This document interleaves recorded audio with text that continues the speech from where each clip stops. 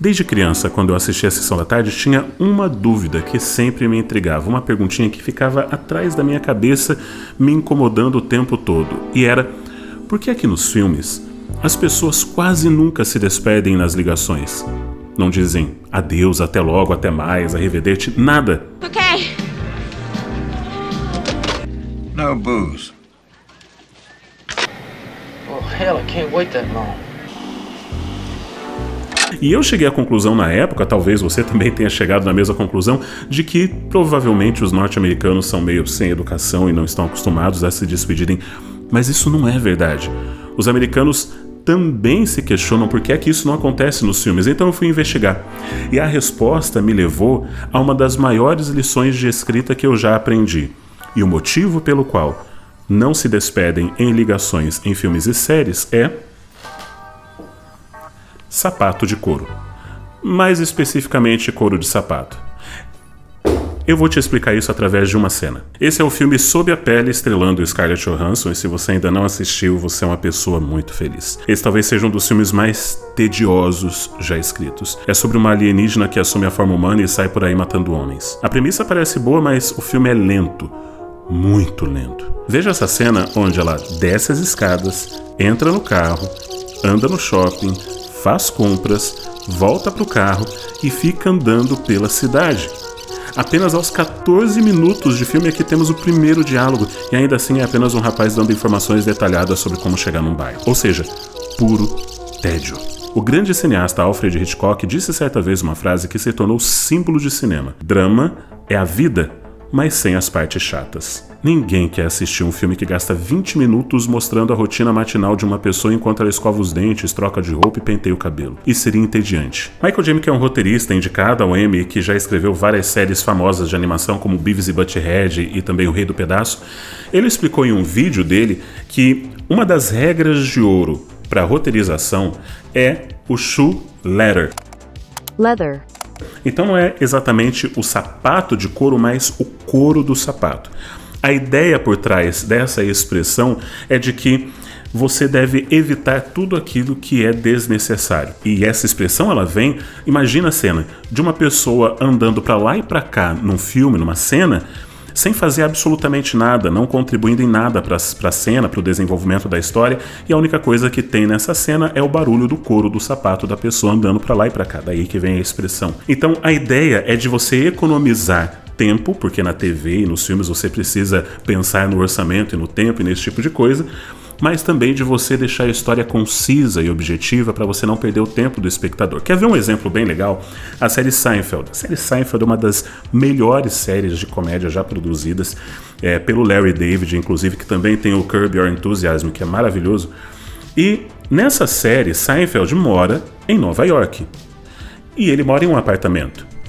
E todos, todos os apartamentos em Nova York, mesmo em lugares seguros, eles têm não apenas a porta fechada, a chave, mas também aquela tranca pega ladrão. Mas na série Seinfeld, isso não acontece. A porta de Seinfeld está sempre destrancada. E é bom que seja assim, porque uma das coisas mais engraçadas na série era justamente a entrada abrupta do Kramer no apartamento. Ele sempre parecia entrar assustado e desesperado, e isso era muito engraçado. Agora imagina se toda vez que o Kramer fosse entrar no apartamento, ele tivesse que bater na porta, e então o Jerry ia falar: Oi, quem é? Ah, é o Kramer, peraí, eu vou abrir a porta para você. Ele vai abre a porta. Ia ser totalmente sem graça. Então, apesar de ser realista ter a trava, isso não é importante, não é legal e vai atrapalhar a história. Então a ideia é de que tudo, tudo numa história deve contribuir para que ela flua naturalmente. Se você quer mostrar alguém tomando um remédio, esse remédio tem que ser importante ou o próprio banheiro tem que ser importante como nessa cena de Donnie Darko, onde Donnie toma seu remédio, o que em um primeiro momento não parece ser tão importante, mas logo teremos outras cenas no banheiro diante do espelho onde Frank irá conversar com ele. Então, nesse caso, o banheiro e o espelho possuem significado e importância. Agora, para comparar, olha essas cenas do filme brasileiro O Som ao Redor, do Kleber Mendonça Filho, que também fez Bacurau. Nessa cena, a personagem lava roupa. Aqui tem uma cena onde o entregador de água vem entregar água. Simplesmente isso. Nem um pouco útil ou relevante. Nessa outra cena, o carro de Sofia havia sido roubado e, após uma conversa tediosa sobre o assunto, Veja como a cena termina. Tá com meu número? Tô. Tá com o meu também, né? Tô. Tchau. Tchau.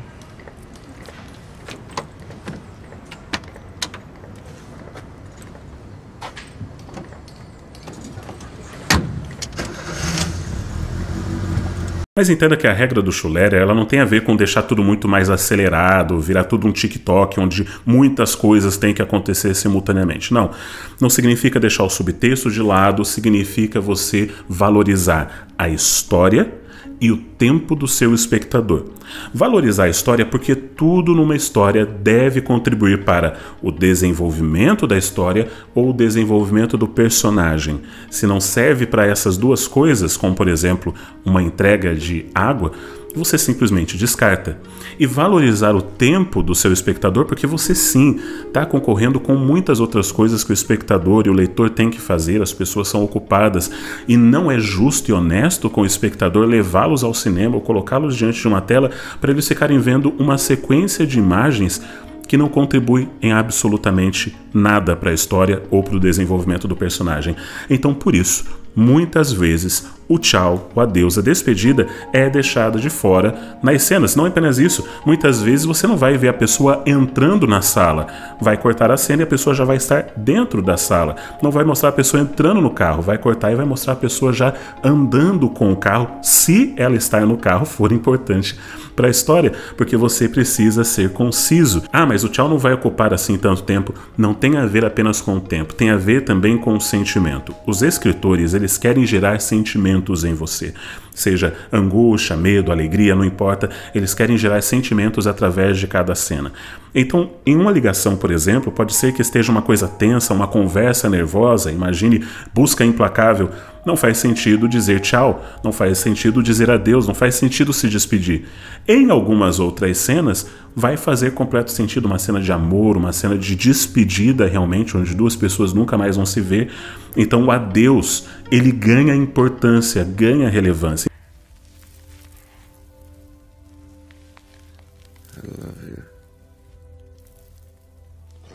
Don't worry too much.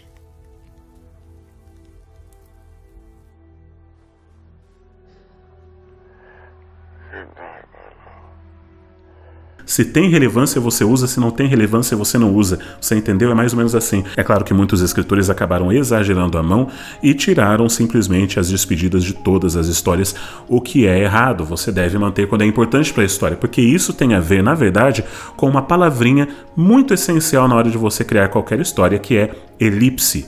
Elipse é a ausência, e nessa ausência você tem um significado. Deixa eu explicar. Por exemplo, cenas de sexo. Já reparou que a maioria dos filmes não mostra as cenas de sexo? Elas ficam implícitas. O casal está se beijando, a tela escurece e quando volta a cena, os dois estão deitados na cama. Não havia nenhuma necessidade de mostrar cenas de sexo, porque a elipse deixou subentendido que o ato aconteceu. Pronto.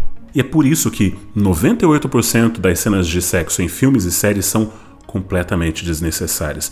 São couro de sapato, chuletter, elas poderiam ter sido deixadas implícitas e a história avançaria da mesma forma.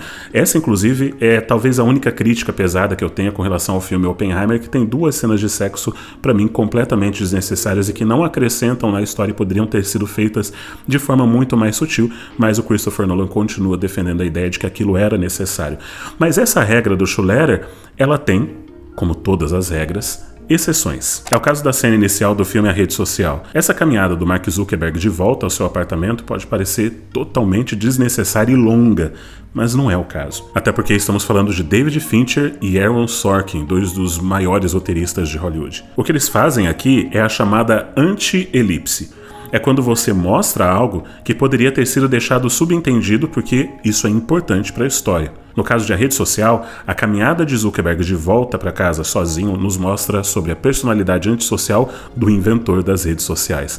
Coisa irônica, né? Outra pessoa que sabe quebrar essa regra com genialidade é Tarantino. Como nessa cena de Kill Bill, onde Ellie Driver caminha, assobia, troca de roupa, caminha de novo, mas essa cena é essencial para criar a tensão e sensação de perigo para a noiva. Ou essa cena de Era uma vez em Hollywood, onde Cliff Booth sai de casa, entra no carro e dirige por dois minutos. A cena poderia ter sido cortada, mas não deveria. Tudo nela é importante. A maneira irresponsável usada como Cliff dirige revela seu caráter. O cenário por onde ele anda reforça o tema do filme que gira em torno da futilidade da vida dos astros de cinema, e sem falar que a fotografia dessa cena é incrível. No final das contas, o trabalho tanto do diretor quanto do roteirista é retirar as partes chatas, como diria Hitchcock, para que a experiência do espectador seja a mais intensa possível.